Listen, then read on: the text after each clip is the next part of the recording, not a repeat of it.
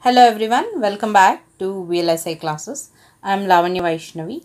So today we will take up module 2 chapter 2 which is basic circuit concepts. So in this basic circuit concept we are going to discuss about sheet resistance, what is area capacitance, what are the delay units and uh, inverter delays, what is the rise time and fall time in that and finally we will uh, understand how does and cascaded inverter drivers will be working with respect to delay. Firstly, we will study what is sheet resistance. First, we will try to define what is sheet, uh, sheet resistance. So, in the sheet resistance, let me take a layer of material. So, it is a layer of material. It can be any sort of material. It can be poly, it can be diffusion or it can be a channel also. Okay, or it may be a metal also. Okay, so it is a material so semiconducting material or it may be material that is used in a fabrication process. So this material has a length of L and it has a width of W and the thickness of T. The resistivity of the material is given as rho. The resistivity of the material is given as rho. So these are the properties of the material. So in this material with respect to the same material first I will define what is the resistance. So taking resistivity into consideration, let me define what is resistance. From where to where you are defining the resistance? From node A or from point A to point B. From point A to point B. What is A? That is area of cross-sectional area. So this cross-sectional area is this one. Okay, so this is the cross-sectional area. So which is the cross-sectional area here? This is the cross-sectional area. So in this cross-sectional area, what is the dimension of it, it is W into thickness, right? So, A is equal to thickness into width. Suppose, suppose if the area uh, or if the width and the length are equal, that is if I tell the feature size which is equal to L by W is equal to 1. That is the feature size is equal to 1. So, if I say that L by W is equal to 1, then your equation becomes RAB is equal to rho into L divided by L into, sorry, T into W, right? So, because L and W are equal, L and W get cancelled, you will be remaining with rho by T. So, look at this, what is RAB equal to? It is equal to rho by T which is RS.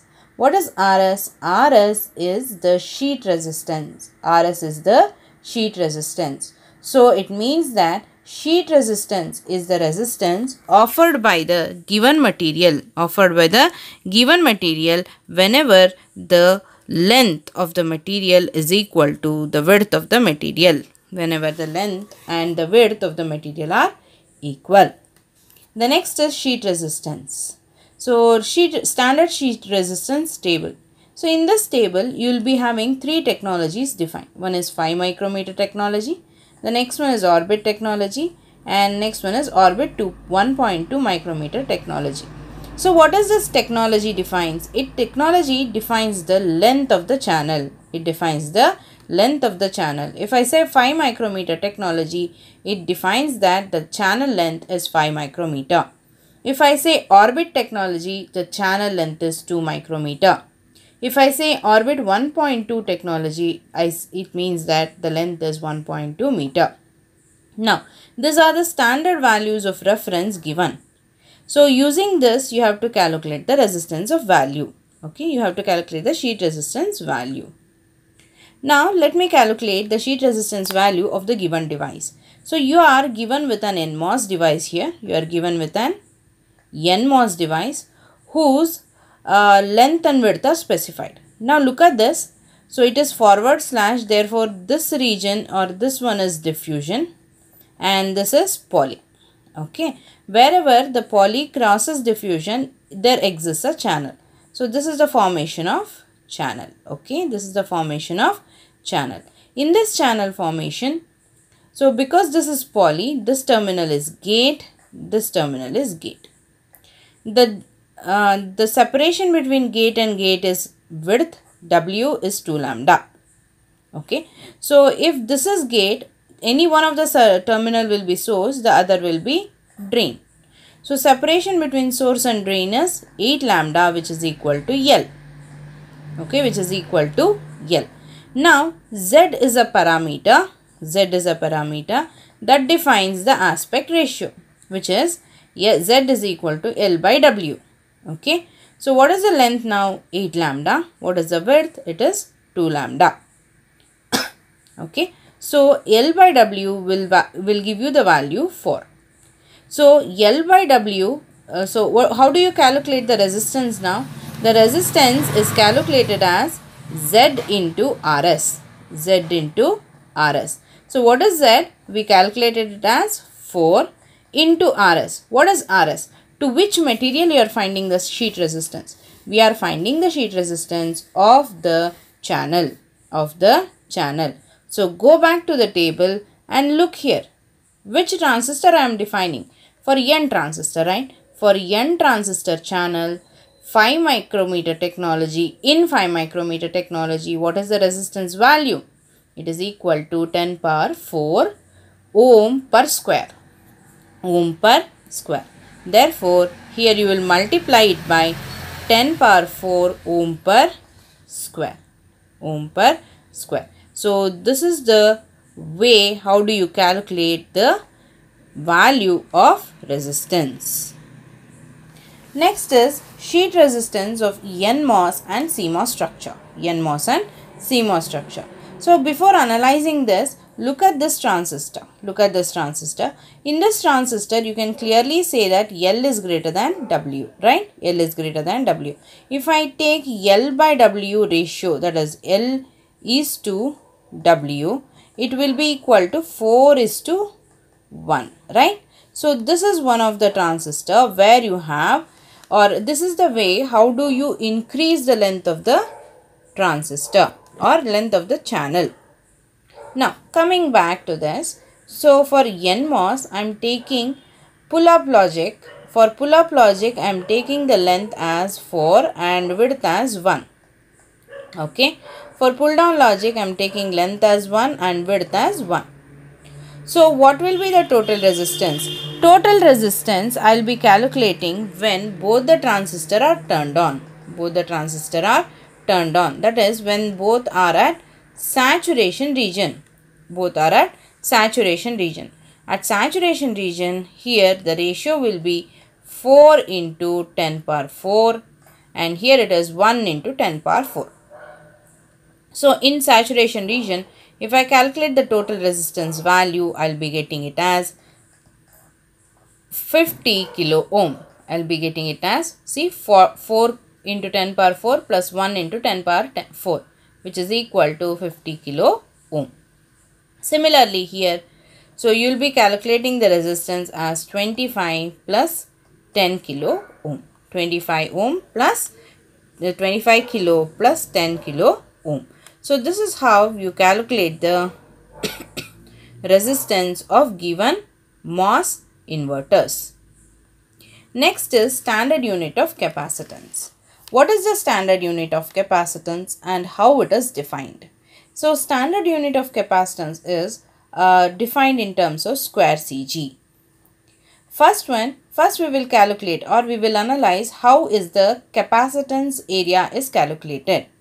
So we know that C is equal to epsilon naught, epsilon R that is relative. Here it is insulation, insulating layer. Therefore, I will take insulating layer A divided by D. What is D? D is the thickness of oxide region. So in many cases, you can also define it as TOX that is thickness of oxide layer. So here you have the terms defined. Okay.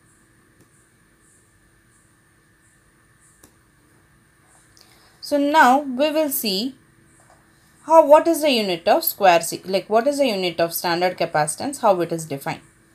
First I'll take a, a material I'll take any two material across which you have the capacitance effect. So in this material or in this material when the value of length is equal to width what is the capacitance that is exerted there that is termed as standard unit of capacitance which is which is square Cg. So it is defined as the gate to channel capacitance of the MOS transistor having W equal to L feature size. So the feature size will be W equal to L. So to calculate it, how do you calculate it? First is area by square. How do you calculate the area? For 5 micrometer technology, it is 5 micrometer into 5 micrometer. Okay. So for 1.2 micrometer technology, you will write it as 1.2 into 1.2 micrometers. Okay. So 25 micrometer is the area of minimum size of transistor. Now, how do you calculate the gate capacitance value? From the table, so look at the table, they have given you the table.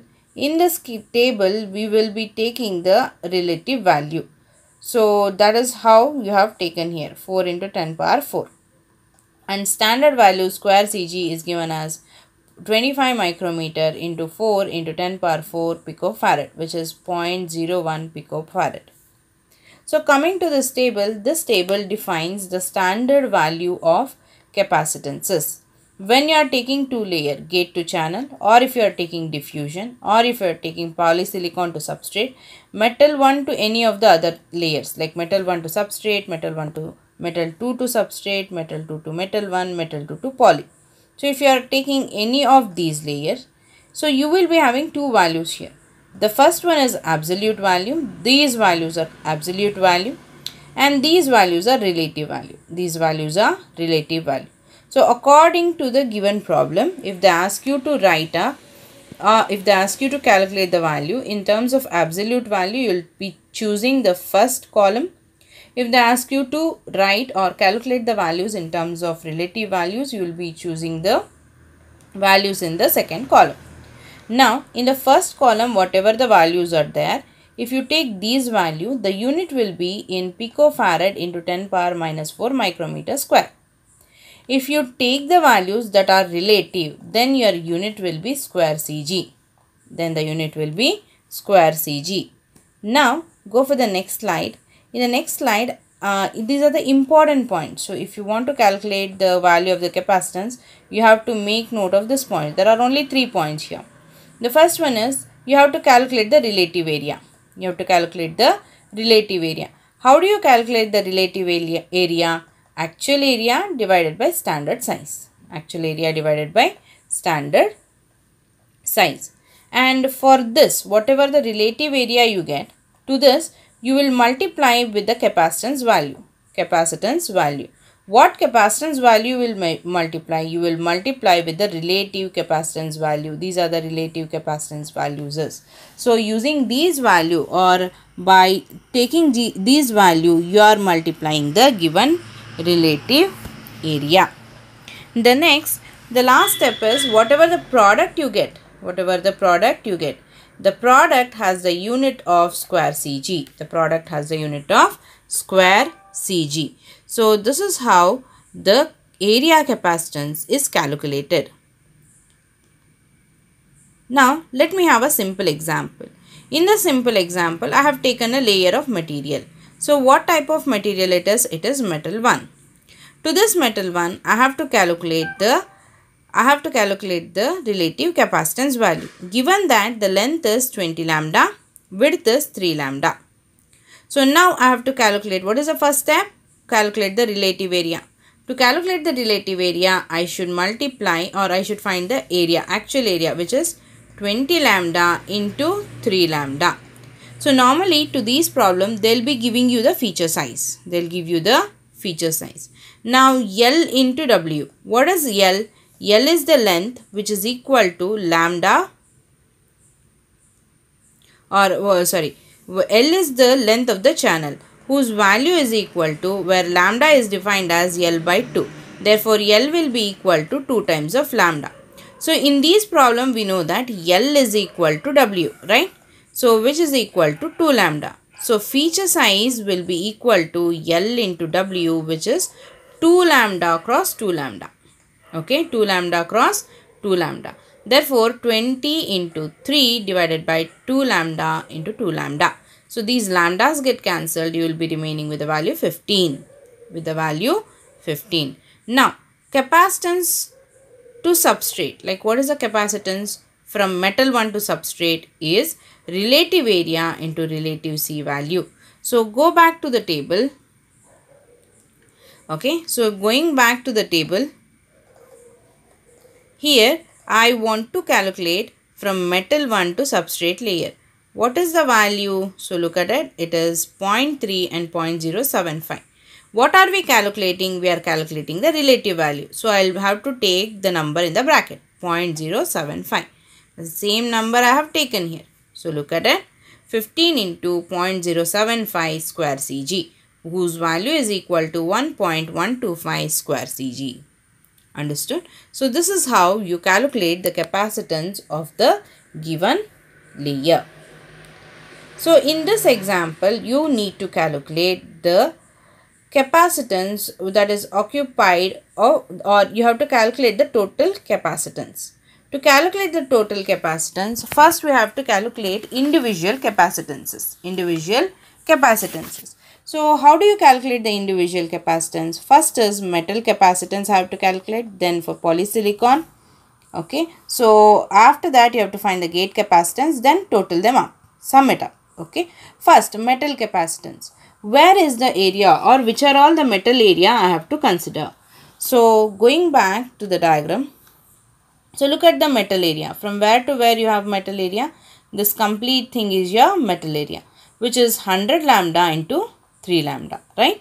So, I calculate 100 lambda into 3 lambda divided by 2 lambda into 2 lambda whose value equal to 75. Now, multiply by multiply this 75 with the standard value of given relative capacitance which is 0.075. So, you will get it as 5.625 square Cg. You got it as 5.625 square Cg. Similarly, polysilicon. Now I have to calculate what is the area of polysilicon. So this polysilicon is occupied in this layer or in this contact. Therefore what is the area of this contact? It is 4 lambda cross 4 lambda. Not only that this polysilicon is covered in this part of the area. This part of the area. So shall I give you in a different color? So it is occupied in this part of the area and this part of the area. What about this region? This is channel. So I can't, I can't take it. So it is covered where and all the polysilicon is covered in this part of the area. So what is the area of this part? First yellow part biggest it is 4 lambda into 4 lambda and the small yellow part is 1 lambda into so see here it is specified here here it is specified 1 lambda into 2 lambda and this is 2 lambda into 2 lambda right. So I'll add it up. I'll add everything which is 4 lambda cross 4 lambda plus 3 lambda into 2 lambda which is 22 lambda square. Now polysilicon capacitance Cp is equal to 22 by 4 into 0.1. So where did we get this uh, 0.1? Go back to the table. Going back to the table. Yes. I want from polysilicon, polysilicon to substrate. Look at this. Polysilicon to substrate, it is 0.1. It is 0.1. Therefore, we got it as 0.1 into 22 divided by 4 whose value is equal to 0.55 and gate capacitance is equal to 1 square Cg because the unit is 1 square Cg. Look at this. Where is the gate you are having?